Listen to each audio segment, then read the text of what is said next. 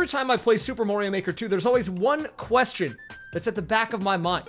And it doesn't matter if I'm playing easy, normal, expert, super expert versus hot levels. The question is, who designed this? Now, if you've played Mario Maker, you probably have run into not just one, but multiple levels that make you wonder, how could a human being have created this? Well, today, we are going to make sure that that doesn't happen to us and with our levels. And you might be wondering, Raysfire, how exactly are you going to do that? Well, I've got two words for you. Yamamura's Dojo. Now, if you don't know what I'm talking about, there's a section built into Mario Maker. It is in the game that has lesson after lesson telling you how you, the player, can make a better level. We're going to be going through and looking at every single lesson that Yamamura has for us and taking notes. Once we are done, we should have enough knowledge that we can create a level that everyone can enjoy. One that even John Nintendo himself would be proud of. So with all of that being said, here is my journey to create the best, most technically correct level in Mario Maker history. If you don't know what the Hot Courses tab is, it's a bit of a smorgasbord. It contains random levels that have one like minimum and were made in the last 90 days. That's it. So when you go here, you really don't know what to expect. And so let me just play through a couple of these for you so you can get an idea of why I think these lessons are so important. I mean, there's so much. It, there's so much that just reaches out to me. And I figured we'll start with this one because I saw it had a very short world record. Like, what is this? I don't know why this was created. All right, this one looks like a good course. Let's check it out. All right, so here we have something similar to the last level in that there's not really much going on here, but there's a lot more enemies. And uh, someone created this, and they released it into the wild, and I don't really know why. Now, these are very easy. Let's actually filter the hot courses to super expert hot courses, and let's try to find some on the opposite side of the Mario Maker uh, difficulty spectrum. Bonds? Bonds T. I love Bonds, dude. All right, let's check this one out. I don't know what this is. I don't know what to expect from the Bonds, but we'll give it a look. It looks to me, though, to be... Wait, is this... Is that a... It's a pixel perfect jump? You have to land perfectly to go in the door. Now, I'm not gonna... I'm not gonna waste my time doing this right now.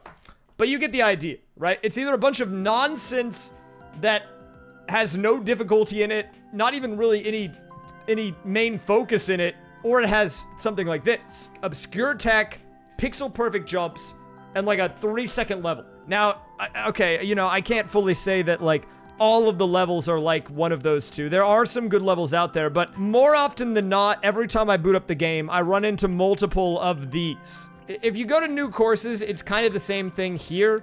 Like, I mean, you get stuff like this. I have not even played the level yet, but it's called The Worst Course I Ever Made, just based on the title alone. I feel like that would have to go against what Yamamura, our pigeon friend who knows all about level design, would want. So now that we've covered how not to make a level, it's time to learn how to actually make one. Because let's face it, if I tried to boot up the level maker right now, there's about a 99% chance I'd create something exactly like you just saw. Partially because I don't know what I'm doing, but also because I like to do a little bit of trolling from time to time. But today, we are going to become a changed gamer. The plan for this is pretty simple. I'll be watching through all of the level making basics and taking notes along the way. Once we're done, I'll be heading over to the level maker to apply what I've learned and make a level that good old John Nintendo himself would be proud of. So here we are, Maker Lessons. We've entered into the classroom, and today's professor is going to be this pigeon right here, Yamamura, who apparently has all of the knowledge that we need to create the perfect level. All right, here we go, guys. Here we go. First day class. Intro to making. Before we start making courses, I should probably explain what a course is. Courses, from where I'm where I'm from, we call them levels. Whoa! A little sass here from the student. All right, apparently they okay, courses. They are not called levels. A course is, is is the space that Mario travels across from the starting point all the way to the goal. Okay, interesting. Does this guy not know how to use the run button? What's going on here? Someone tell this guy how to run. Oh, he's kind of gaming, though. If you can make it all the way to the goal, he'll clear the course, okay? In short, the course is everything between the start and the goal. Very nice. Guys, you made it through the first lecture. Congratulations. Nice job.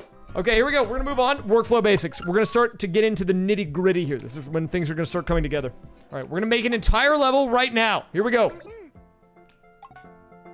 Kawamura? Whoa, insulting the teacher? Messed up, dude.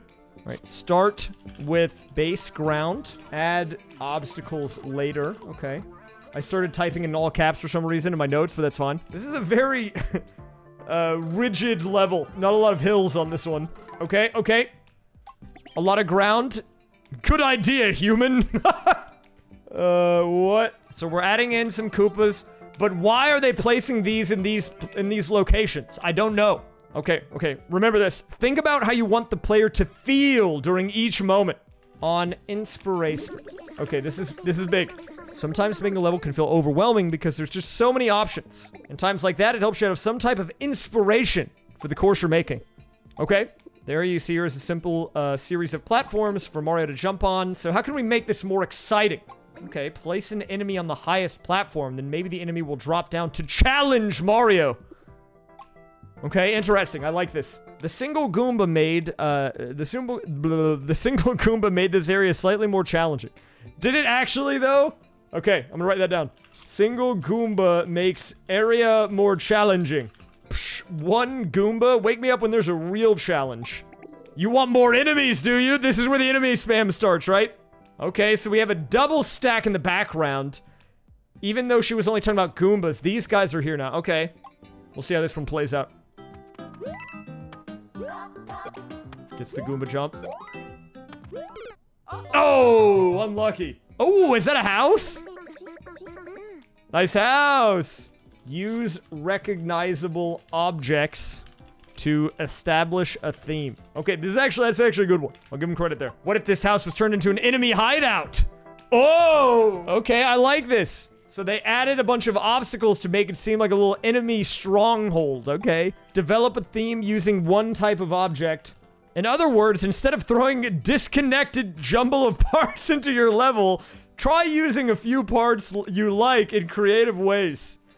Well, okay, this is where all the Mario Maker level makers go wrong. Clearly they didn't watch the lesson, otherwise they would know better. Okay, no, don't say there's no rules to making a course. There's definitely rules. Don't tell them there's no rules. That's what got us into this.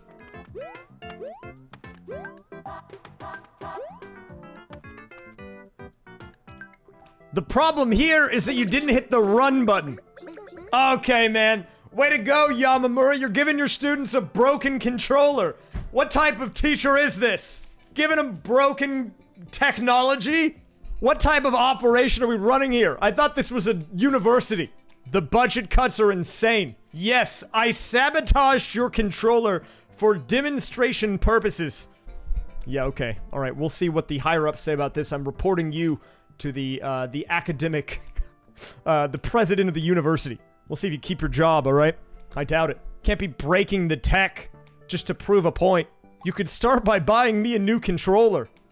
oh yeah, the great solution. Yeah, don't buy new technology, just make the gap smaller. That's fine. When you come across a problem in your course, try fixing it in multiple ways. Okay, write that down. Oh, okay, new solution. You raise up the ledge so she can jump further. Okay, I like this. We're learning here. Uh, here's an here's another alternative solution. Maybe give your student a new controller that's not busted. Okay, how about that? See, look, she's even saying it, dude. I don't know, man. I feel like I didn't learn much about the fixing about fixing mistakes there. I feel like I just learned about how awful that bird is. Okay, there's a path to the goal now. That means our level is finished, right? See, this right here is like 99% of all the levels in Endless Easy. They're like, yeah, I mean, look, the goal's right there. You start right here. That's all you need. In this lesson, we'll be talking about terrain parts. Interesting, okay. Remember to keep in mind how high Mario can jump when designing your course. Okay, remember that. The Goomba isn't exactly a genius. Whoa, toxic. Hey, that's messed up, Nina. You can't say that. Green Koopa turns around. No, wait, green. Oh, crap, I'm messing up the notes. I wonder why the green ones and the red ones move differently. Do you think it's cultural or biological? Biological. They're just programmed to move that way, okay? Movement is biological. Oh no, what a blunder, dude. She's taking damage. Ack.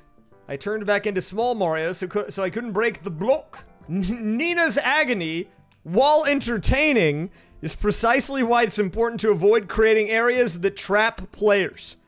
Wow, this person is messed up. This pigeon is messed up, dude. wait, wait. When creating your course, don't hesitate to exploit the insatiable greed inherent in all human beings. Okay, alright, good. Write that down. Noted, noted. This is important. Guys, if you are making a Mario Maker level and you are not doing this, your level is wrong. Okay, so remember this. This is important. This will be on the exam. If you place too many coins in your course, they'll lose all their power. You know, inflation and all that. True! Since the dawn of time, philosophers, game designers, and seat cushion engineers alike have asked the question, how hard is too hard? what?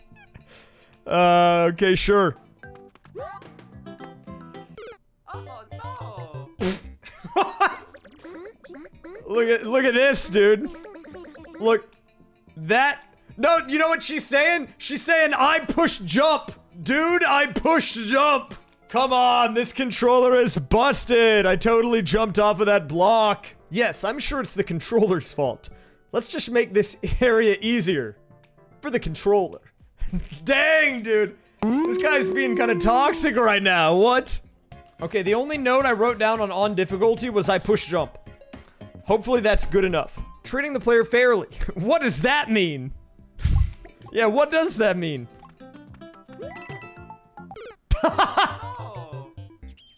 we do a little trolling here. Troll the player. Noted. I think what we need to do now is we need to create a theme. Mole main character energy. Okay, so we have the mole theme, but what else do we want to do? I like the ones where it's like you're in the overworld and then you, you're running a little bit and then you go in like a pipe or whatever and it's like the mole like kingdom and then you get through that and then you come back out after defeating the, the great mole, right? It's got like a little, a little story behind it.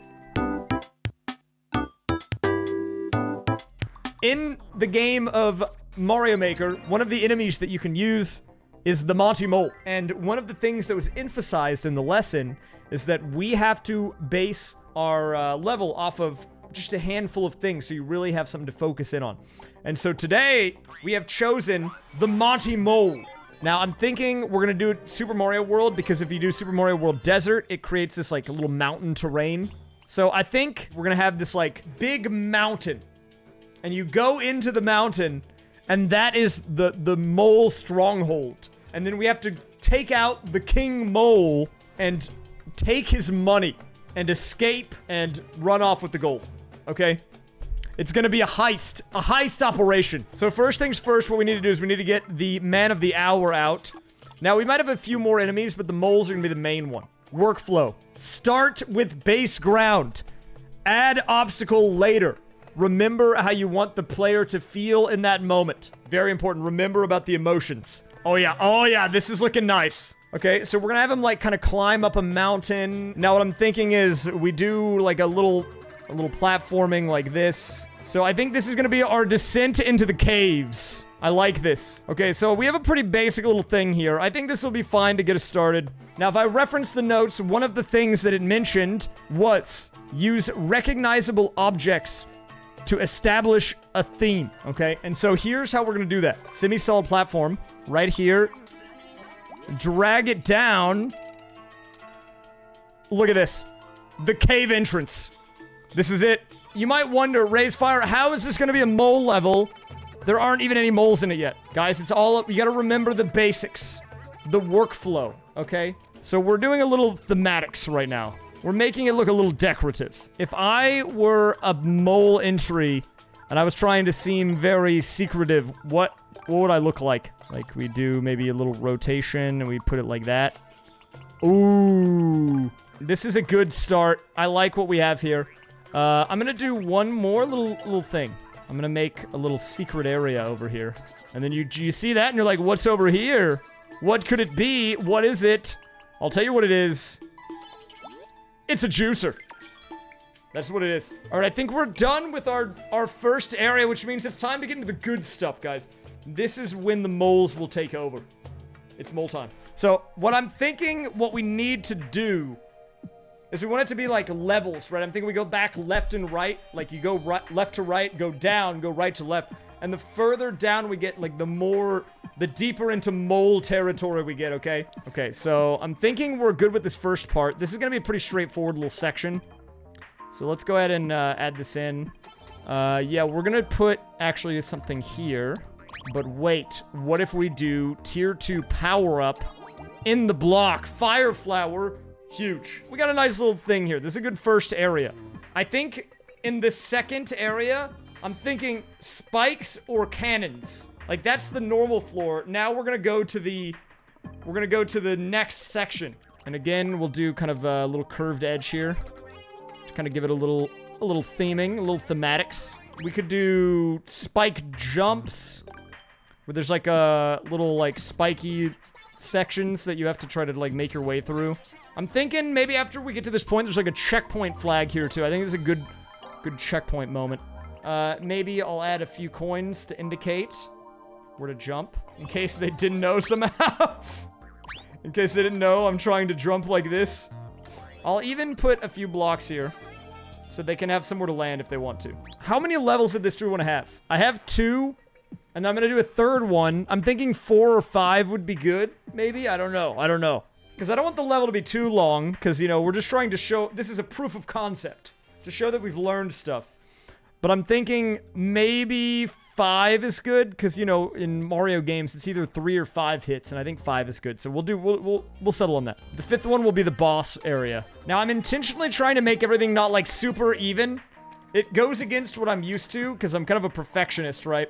I need to kind of want to make it seem natural, like a cave. What I'm feeling for this part is I'm feeling a little, a little mole chaos. So I want to give this guy a gun. Give the mole a gun. Maybe, you know what, we don't need him to have that on his head. It's funny, but I think we want to do this. I think this might be a decent uh, solution. I think giving maybe some platforms for you to stand on makes it a little more fair, so you're not just juking constantly. What am I doing? I don't know how to use this thing, dude. I should have paid attention in class. All right, we're gonna we're gonna move on to the next part. I think I'm trying to avoid summer school right now. That's what it is. Okay, we'll do we'll do some icicles. I like that. It's a good starting point here. So in this section, we're gonna go with an icicle theme, but we can include a little more as well. Maybe maybe for theming to show that we're getting deeper in the cave. It's getting a little colder. I think that's fine, but it might be a little easy. Maybe I can add a couple more moles. You know, we'll do like uh, one. We'll do a tiny mole. Right here. And then it goes to two, and then it goes to three. Okay, that's fine. I think that's good. We're gonna get ready for the, the great mole battle. This is where, this is against the big man. We're gonna be fighting the big man here, okay? I'm going off the rules, guys. The thing is, we have to start with the ground, okay? We did a lesson on workflow, and it says, start with the base ground. Then add in obstacles, then add in enemies. And then remember how you want the player to feel in that moment. That was the other one. So we're gonna have, we're getting into some of the theming here. It's getting further down in the cave. We're getting all icy. So I'm thinking for the boss, I was giving it some thought here. It's gonna be like a mole survival, like a survival type thing where you just have to stay alive X amount of time. Maybe something on a track where like at the end, something happens and you can get out or something. I'm not sure. You drop down here and you're being judged by the mole guardians. Did the lesson say to only use Roy for boss fights? This sounds like Roy propaganda if you ask me. I don't know about you. Okay. So let's test to make sure this works. I don't have Giga Roy. I gotta add that though. That's that actually is Roy propaganda. Okay. So we now have our level here with the auto scroll working. Okay, so we go in here and then what? Then what happens? Okay, so this is the boss room right here. Okay. Uh, I'm in the. I don't want to be here with the balls, dude. what the heck, dude? What was that? Do they have a section on boss fights? That's a good idea. We should check. I gotta check for inspiration. Does the does the pigeon tell me about the boss fight? Where where's the boss fight, dude? They don't have it. They don't have a boss fight feature. We're going into uncharted territory. I mean, I, I do have room here to do like a little mechanism off-screen track thing, potentially. I'm gonna do big mole here. Ooh, I see, I see. Well, this is gonna be off-screen. I'm thinking about like doing a survival type thing. This is uh, not something that the player would see. This is something that would be very uh, behind the scenes. Yeah, because I'm thinking if I do that, we can do like a survival thing with some big moles and small moles and like icicles and got like ice thing. So the track's global, right? So this should be fine now if I drop down here. Pay attention, pay attention.